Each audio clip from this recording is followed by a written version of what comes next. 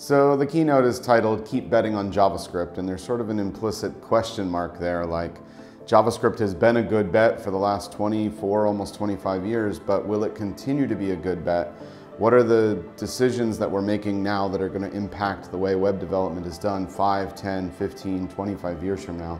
And are those decisions really the right decision? It seems right in the moment, but just because we can do something, does that mean that we should be doing it? So I'm trying to ask these questions, get other people to ask the questions about the bets that we're making on web technology.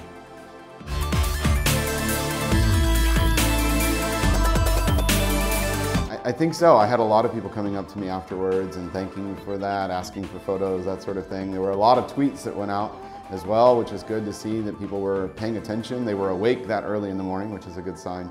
So yeah, it seems like it stirs up um, inspiration and also people, you know, thinking about things. Basically, my goal is not for everyone to agree with me, but for them to ask those questions and to wrestle with those things. And it seems like it stirred people to action to be thinking about that, which I think set a good tone for the rest of the conference day.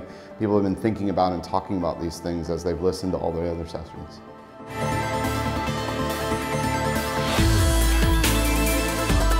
Yeah, actually, so the, the talk, one of the talks that I thought was most interesting is very geeky because I'm into functional programming, but I really enjoyed Andre Staltz's talk on lenses because I didn't really know what a lens was until last night at the speaker dinner. He was talking about it and I was like, oh, that sounds so cool, and I really wanted to be there for his talk.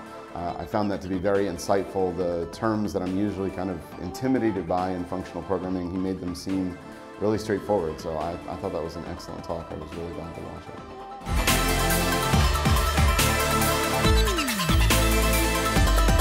Well, I think the vibe can be defined by the fact that we're in a church. It sort of has this gravitas about it. When you walk in, you feel like we're here to hear some really inspirational and profound messages that hopefully change the way that we approach things that we do in our industry.